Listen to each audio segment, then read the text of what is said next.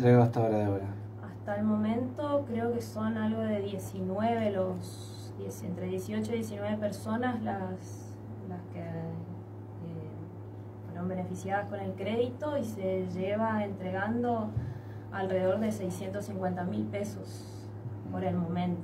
Pero estamos hablando para eh, eh emprendimientos o microemprendimientos y en su, en su mayoría son monotributistas o una de las cuestiones. No sé si los requisitos indispensables es ser monotributista o no. En realidad no es necesario que sea monotributista.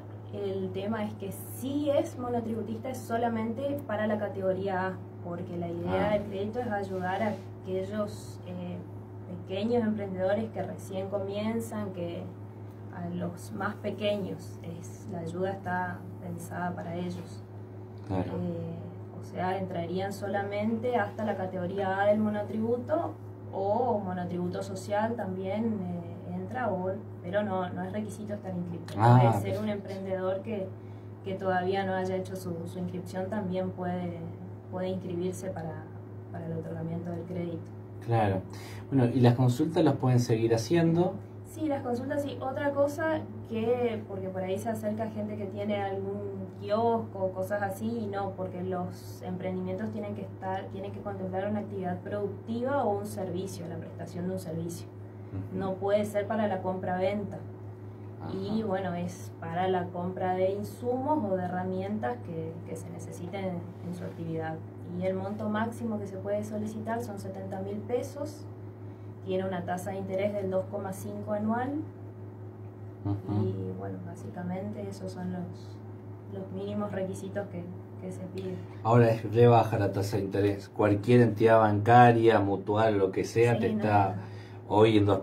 No, no, no cubre ni, la inflación del mes, así que. No, exactamente, re, Totalmente, totalmente, absolutamente. En ese sentido, tienes toda toda la razón del mundo.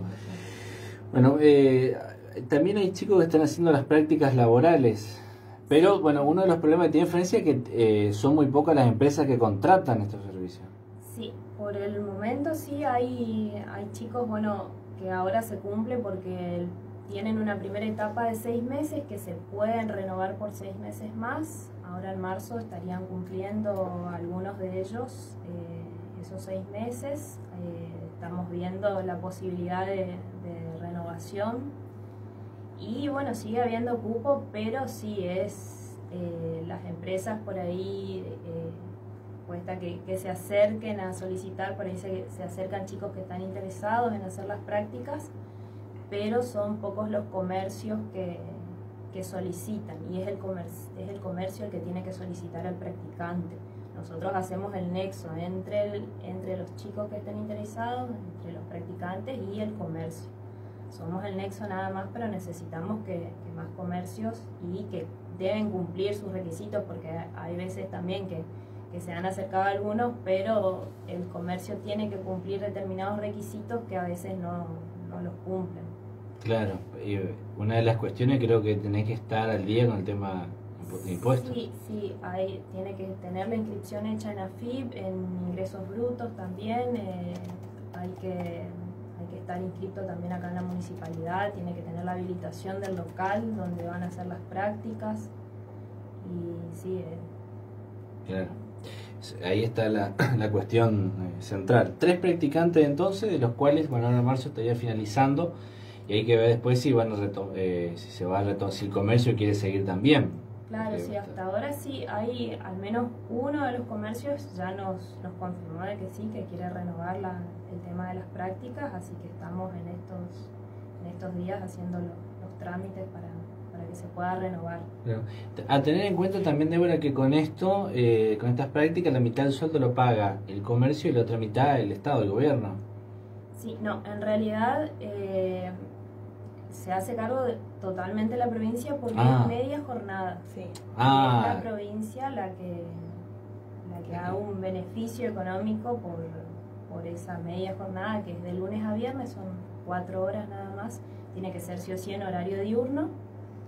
Y si es la totalidad lo paga la, la provincia, el comercio no, no tiene que aportar nada, solamente estar al día tener las inscripciones hechas y... Claro. Bueno, y también para tranquilidad del comerciante, digamos, porque corre todos los, los riesgos Claro, bueno, que tiene. ese es otro requisito también, es eh, que sí se le exige al comercio, es eh, pagar un seguro por ellos. Ah. O sea, lo único que pondría ahí entonces el comercio es... es, eh, Claro, es el seguro que sí es, es un aporte mínimo que... claro, comparado con pagar un sueldo, Claro, aporte y sí, sí, demás, sí. la verdad que el seguro es prácticamente Sí, se nada. benefician realmente lo- ambas partes porque Claro. el chico es una oportunidad para que aprenda, para que se para que conozca un oficio, que aprenda, adquiera la responsabilidad de tener su trabajo y, y bueno, y el comercio también se, se beneficia con Ah. este programa. Exactamente, total, no, en eso tienes toda la razón del mundo. Bueno, y las capacitaciones que el año pasado hubo varias, muy exitosas todas.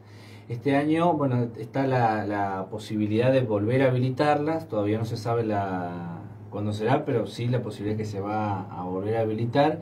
Y con un sistema medio, parecido que fue el año pasado, ¿no? Con sondeo en las redes sociales para ver qué es lo que más piden los, los, los que se quieren capacitar y si están las posibilidades de que esas capacitaciones se dicten en Florencia.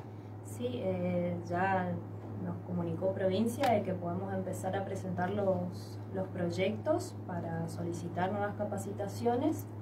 Eh, lo bueno sería que eh, sí hacer una encuesta para ver cuáles son las que más interesan a, a la Claro. población para y sí también volver a hacer nuevas ediciones de las que se hicieron el año pasado porque lamentablemente muchos chicos habían inscrito que, que quedaron afuera porque es por cupo nos dan cupo por, por cada capacitación y, y por suerte hubo muchos interesados pero sí eh, quedaron afuera así que la idea es volver a presentar de las capacitaciones que ya se hicieron el año pasado y bueno eh, ver qué otras interesaría para, para ir presentando los, los proyectos y bueno, próximamente tendremos, tendremos novedades con ese tema.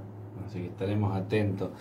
Bueno, Débora, ¿algo más para comentar? Te encontramos todos los días de 8 De a 8 13. a 13, acá en, por 9 de julio se ingresa, acá en la municipalidad, pero es por, por 9 de julio. Ajá, acá al lado de la radio, somos vecinos con Débora, estamos pegados una oficina de la otra. Así Bueno, Débora, buen fin de semana, gracias por la Gracias, visita. ¿eh? Igualmente. Que tengas un lindo día.